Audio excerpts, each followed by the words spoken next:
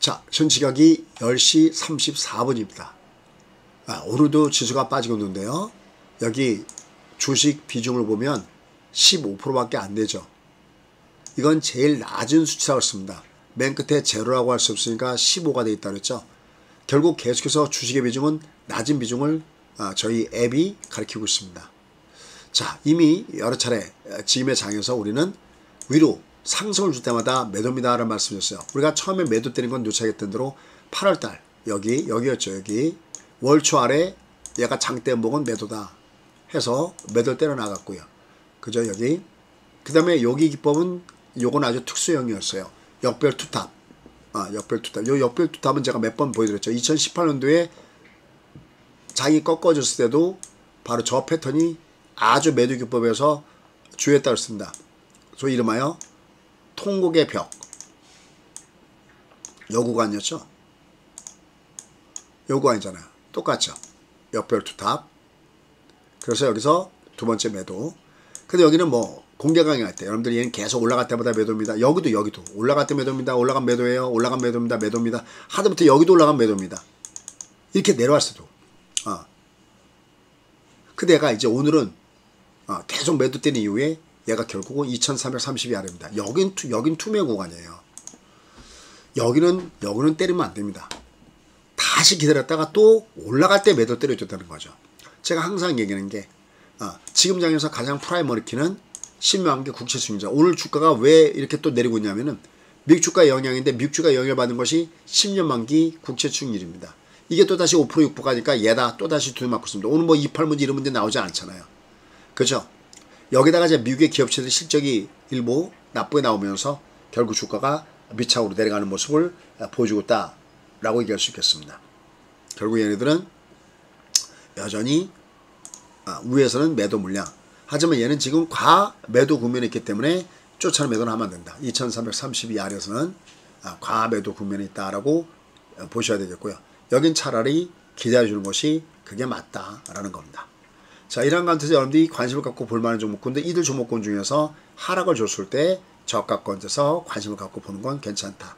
그래 이들 이들 자체도 예, 시장이 굉장히 나쁘기 때문에 예, 아, 시장이 굉장히 나쁘기 때문에 아, 전체적으로 베팅을 쏠 때는 작은 베팅을 쏘셔야 됩니다. 지금은 일단은 하, 이렇게 하락이 하락장일 때는 현금도 하나의 주식이다 라는 마인드를 가지고 여러분 매매하는 것이 너무너무 중요하다라는 것을 절대 여러분들은 잊지 마시기 바라겠습니다. 내가 모르고 번 돈은 내 돈이 아닙니다. 내가 알고 벌어야 그게 내 돈인 겁니다. 그래서 여러분들은 어, 현재 타이밍에서 여전히 위로 반동을 줄 때마다 매도 쪽을 해야 되겠고요.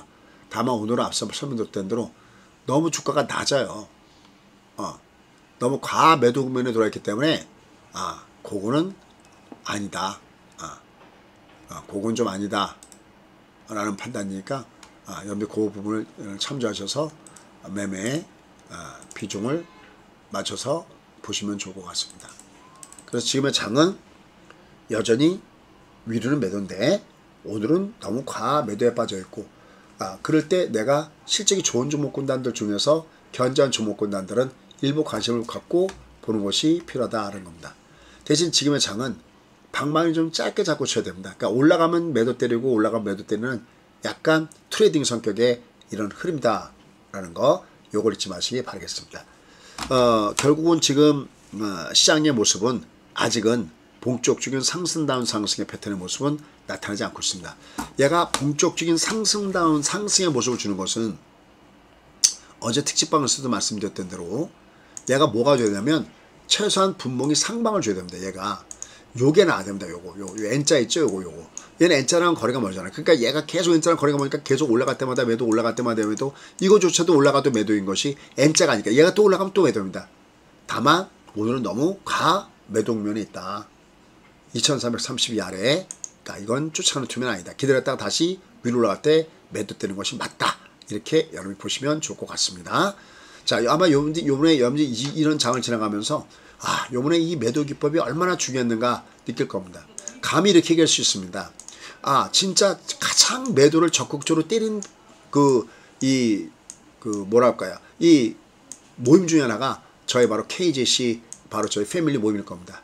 정말 매도든지 인버스 뭐든지 해야 된다. 역불투탑이다. TSMC 악세가 엄청난 악세다. 이렇게 내려왔어도 여지 올라갈 때 매도인 거를 여러분들 분봉을 가지고 공부해주면 좋다라고 이미 내용도 공개했습니다. 얼마나 쫓아오신지 모르겠습니다. 다만 내가 오늘 초보라고 해서 내일도 초보는 아니거든요. 여러분들 화이팅 하십시오. 감사합니다.